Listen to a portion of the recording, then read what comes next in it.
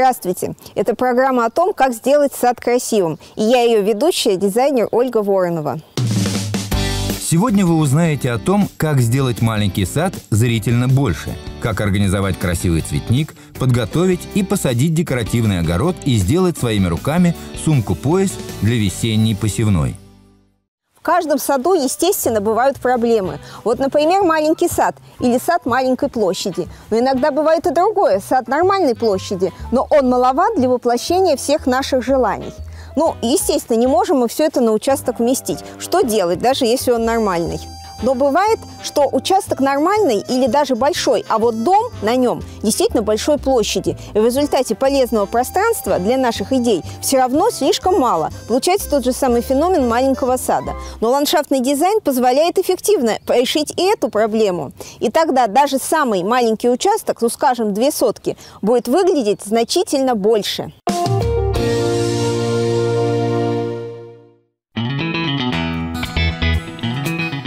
Первое решение для маленького сада звучит так. Растворите границы участка. А граница участка – это забор. Значит, надо сделать так, чтобы он был как можно менее заметным, то есть ажурным. Например, как вот этот художественный штакетничек. И покрасить его в светлый цвет, можно даже в белый. Можно, конечно, использовать сетку-рабицу, но это обычное решение. А вот необычное решение – это соединять сетку-рабицу, дерево и какие-нибудь другие материалы, например, вот этот окрашенный профнастил. Тогда ваш забор будет комбинированным. А если еще вдоль него посадить красивые цветы и цветущие кустарники, у вас будет не забор, а просто выставка растений. И от этого перепада фактур, форм и цветов участок, разумеется, будет выглядеть больше, а общая его площадь просто потеряется в ваших глазах, и он будет казаться значительно больше.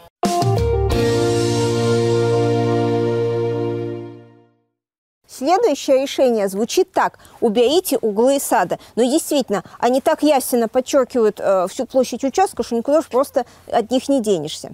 И к тому же углы – это такая полезная вещь, сколько всего интересного и полезного можно там устроить.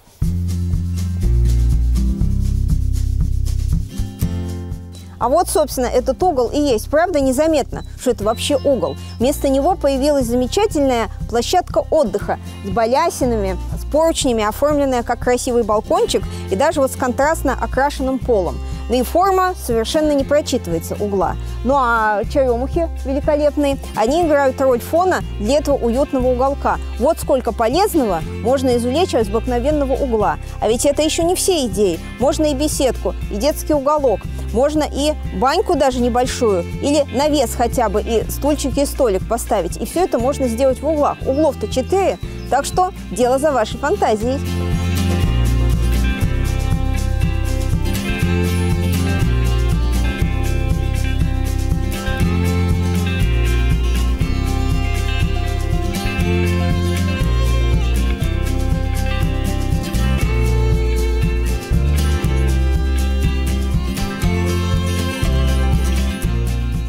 Следующий секрет для увеличения площади маленького сада звучит так – исказите форму сада. Но, как правило, форма сада, она какая может быть? Квадратная, либо прямоугольная. Это значит, что сад нужно насытить формами, конструкциями, объектами, которые будут совершенно другой формы. Но в данном случае, конечно, округлыми, волнистыми, дугообразными. Вот, например, как эта клумба, на которой я сижу. Она ведь не квадратная, она круглая, да еще и с различными секциями, которые тоже имеют дугообразные очертания – а такая большая клумба, она, безусловно, отвлекает внимание от того, что границы квадратные. Да и не только сами конструкции. Растения тоже могут иметь определенную форму, как вот эта шаровидная туя. Здесь получается что? Круги, дуги, шары. Все это круглые формы, и они искажают прямоугольники. Мы просто их не замечаем. И помимо этого дорожки должны быть извилистыми, подпорные стеночки дугообразными, да даже цветники могут быть овальными или волнистыми. Все это только сыграет на увеличение объема вашего участка.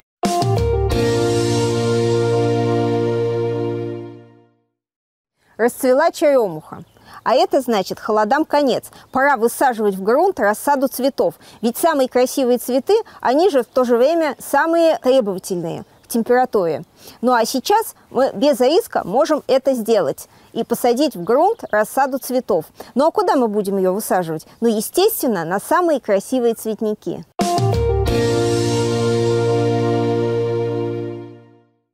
Вот сколько цветочной рассады я заготовила. И среди них есть как уже цветущая, вот она, пожалуйста, уже большие достаточно цветы, украшение будет, так и э, еще такая рассада, которая не цветет которая выращивала семян. И вот, как говорится, э, цвести еще не пора, но высаживать-то уже самое время. Есть рассада и та, и та. Но высадка рассады – это стресс для нее. И поэтому для того, чтобы она перенесла этот стресс достойно и осталась вся, э, как говорится, на клумбе в целости, сохранности и зацвела бы вскоре, я должна перед высадкой эту рассаду полить обязательно. Это один из секретов прекрасной приживаемости цветов на клумбе.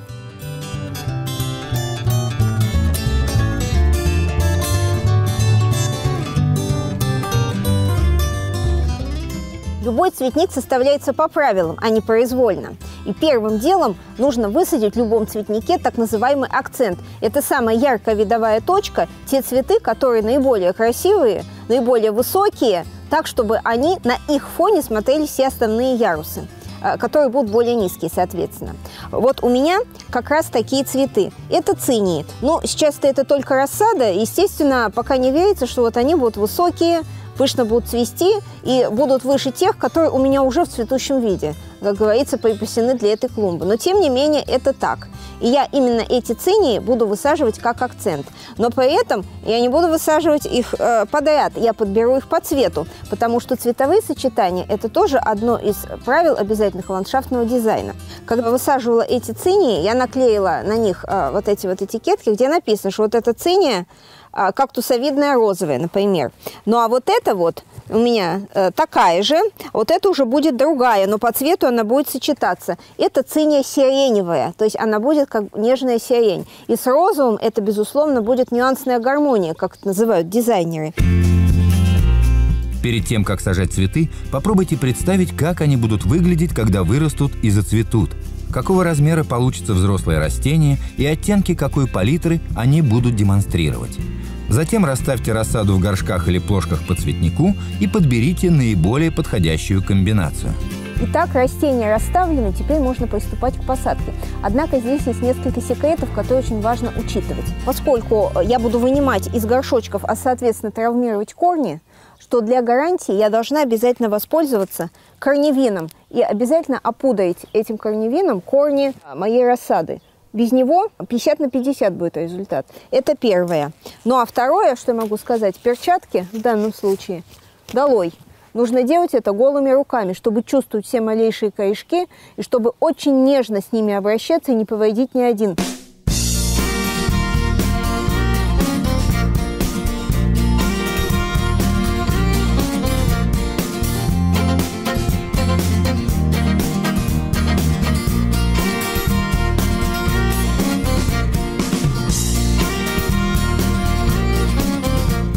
Средний план любого цветника составляют цветы, которые по высоте пониже акцента, а, Значит, они могут быть с более а, маленькими цветками, а, но они должны обязательно гармонировать по цвету с тем акцентом, который мы уже высадили. В данном случае у меня здесь есть вот эти петунии. Они разрастутся, будут очень кустистыми, гораздо будут выше, чем сейчас, но они у меня уже в цветущем состоянии, в отличие от тех циней, которые пока себя явно не проявляют. Они в кассетах. Вот они, что из себя представляют. Это растеница с полностью оформившейся корневой системой, которая легко, без повреждений с кассеты вынимается. Но принцип все равно тот же самый. Корневин здесь, естественно, нужен, потому что не меняют место жительства. Поэтому я сделаю то же самое. Сначала расставлю, а затем посажу.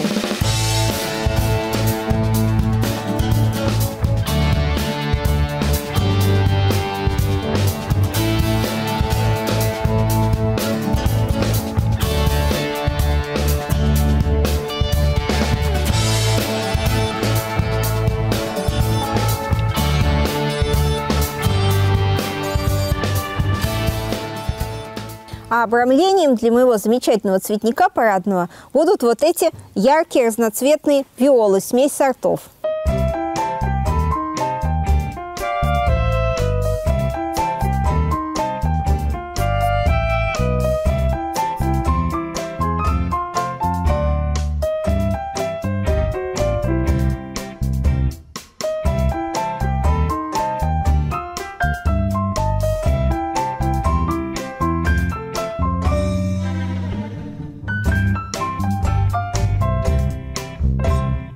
В красивом саду обязательно должен быть красивый огород. И не только должен, но и обязан. Ведь, собственно, огород – это часть вашего сада мечты. Поэтому и огород мы сделаем декоративным.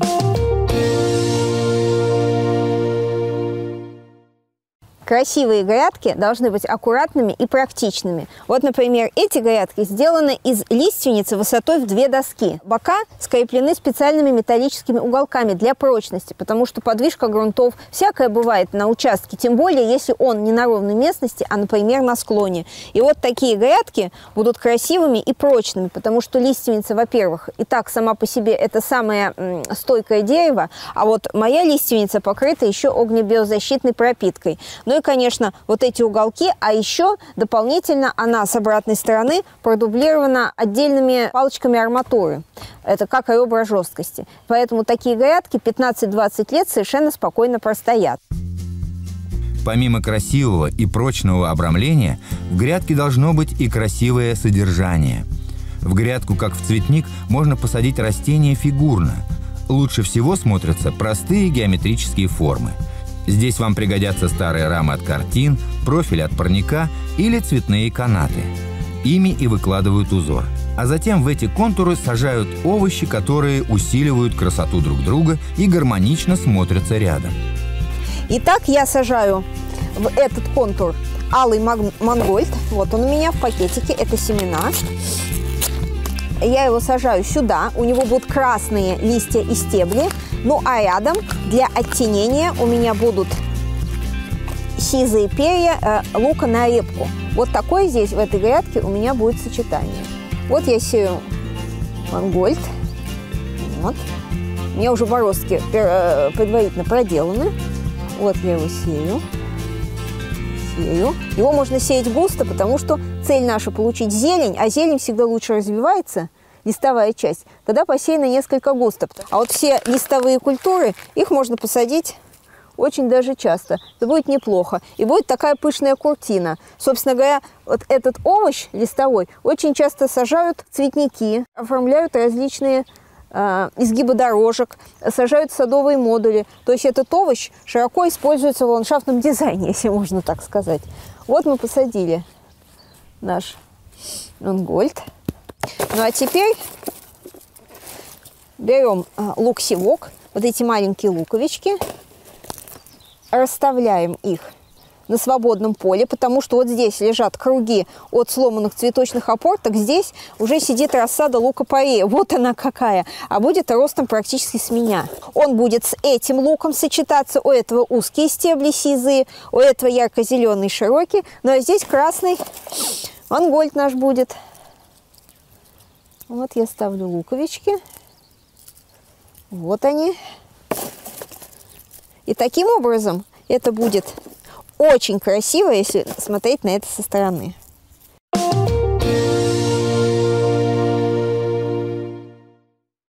Давным-давно, 200 лет назад, садовый дизайн уже существовал. Люди и тогда украшали свои сады, очень любили это делать. В те стародавние времена был уже дизайнерский огород, где на грядках сочетались овощи и цветы, а еще различные пряные травы. И этот огород был гораздо продуктивнее обычного, потому что различные овощные культуры увеличивали урожайность друг друга и защищали соседей от вредителей. Вот почему в те стародавние времена никакой химии не было, а овощи были здоровы и все было прекрасно. И огород был красивым. Многие приемы той старины мы можем позаимствовать и для нашего современного сада, и для нашего декоративного огорода.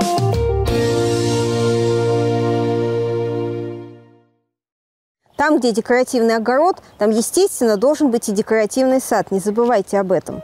А в декоративном саду первое растение, которое уже дает нас красотой, это, естественно, черешня. Но вообще и плоды у нее замечательные и очень вкусные. И сейчас я дам очень важный совет, который нужно сделать именно сейчас. Вот когда плоды уже завязались на черешне, ну нужно очень тщательно сейчас ее поливать. Ну, не меньше шести ведер на дерево, а еще лучше положить под нее шланг. Иначе она сбросит плоды, и вы мало что увидите. Ну и, соответственно, не будет той красоты, которую вот производит дерево, полностью обвешенное крупными, красивыми, а, румяными плодами. Поливайте черешню. Сейчас это ей особенно нужно.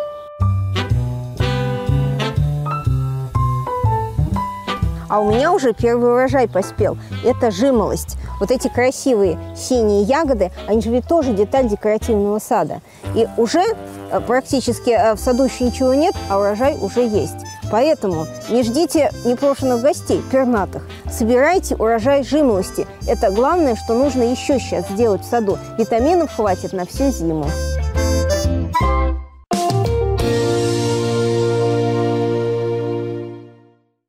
Весной в саду-огороде так много работы. Посевы, посадки, семена, э, ножницы, корневин, в общем, все, что необходимо для этого. Вот много разных мелочей. Но куда их девать? В общем-то, по карманам. Но это не очень-то удобно. Тем более, что если огород большой, хочется посадить и тот сорт, и этот, и пятый, и десятый. И куда это все девать, совершенно непонятно. А вот что я предлагаю сделать.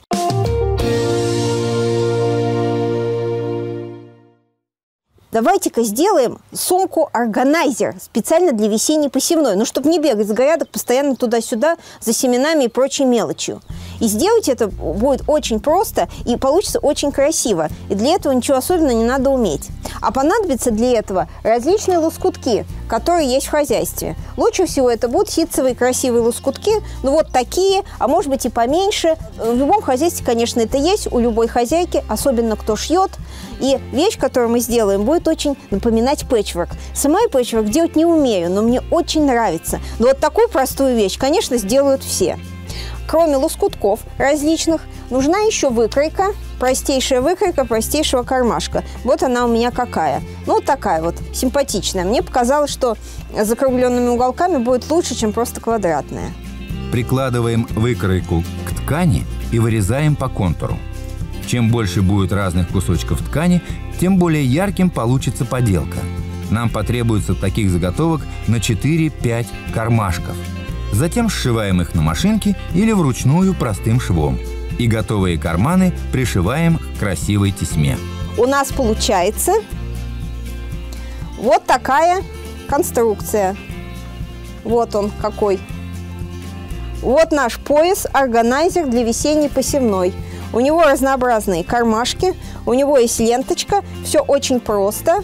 Вот внутри можно класть семена.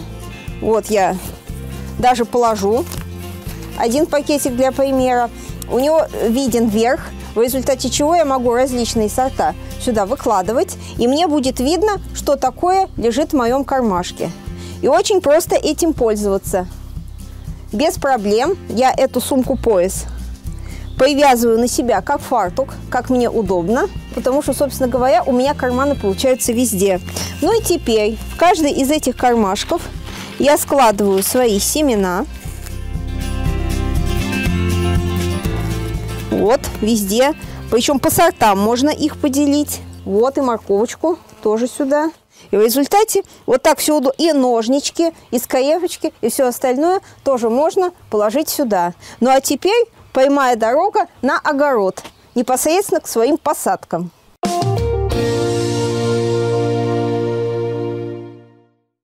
Ну что ж, приятно видеть, как сад преображается на глазах буквально день за днем.